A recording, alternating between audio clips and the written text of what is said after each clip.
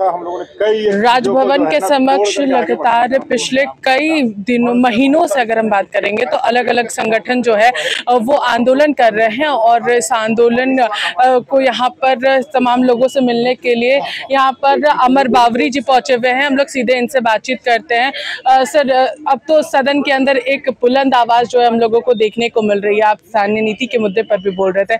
लेकिन आज आप लोग यहाँ पर मिलने आए हैं। पंचायत सचिवालय स्वयंसेवक संघ सबसे लंबे समय से यहाँ पर बैठे हुए धरने में देखिए, अभी स्वयंसेवक लगभग एक दिनों से बैठे हुए हैं।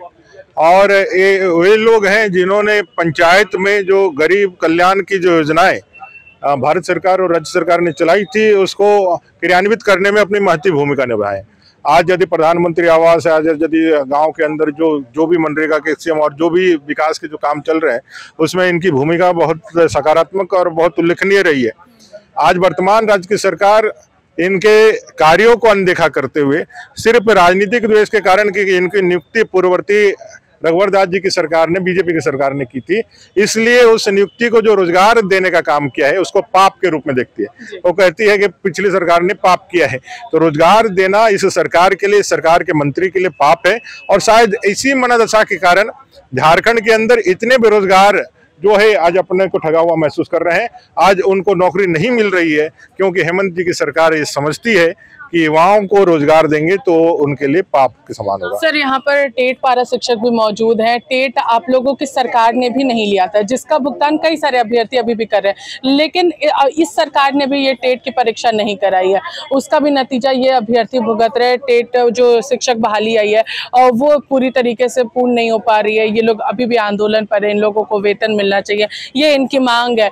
तो इसे आप कैसे देखते हैं? देखिए जे टेट के जो अभ्यर्थी जो अभी धरना पर हैं उनके लिए जो वैधानिक जो रास्ता है वो आपने जो है महाधिवक्ता ने जो उनके परामर्श जिसके आधार पर कई एक निर्णय इस राज्य सरकार ने लिए हैं।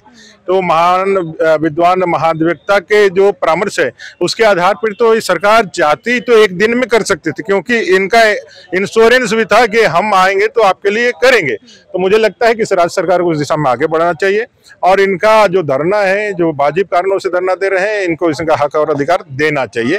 इस विषय को लेकर के भी हम लोग विधानसभा के अंदर जाएँगे और मैं आपके माध्यम से तमाम लोगों को आश्वस्त करना चाहता हूँ जब भारतीय जनता पार्टी की सरकार 2024 में वापस आएगी तो इनके तमाम तरह के जो परेशानी है उसको हम लोग को दूर कर देंगे ये सिर्फ़ चुनावी वादा नहीं ना बनकर रह जाएगा एक बार फिर से क्योंकि ये लोग ऑलरेडी ठगा हुआ महसूस कर रहे हैं। तो ये आप लोगों के द्वारा भी सिर्फ़ एक चुनावी वादा में ही तब्दील होकर के रह जाएगा। झारखंड का निर्माण हो चाहे झारखंड में पारा शिक्षकों की बहाली हो ये भारतीय जनता पार्टी ने ही किया है।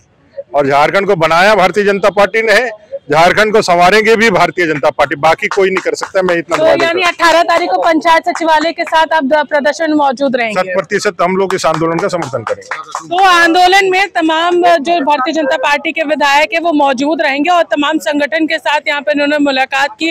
टेट पारा शिक्षकों को लेकर के भी इनका बयान सामने आया की टेट पारा शिक्षक जो है वो हम लोगों की ही देन है और झारखंड निर्माण भी हम लोगों की देन है।